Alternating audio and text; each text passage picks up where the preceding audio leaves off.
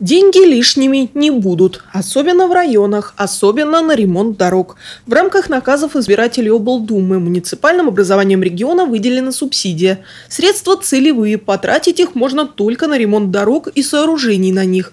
При этом доля средств местного бюджета на исполнение расходных обязательств должна составлять не менее 5%. Распределят деньги между муниципалитетами, подавшими соответствующую заявку.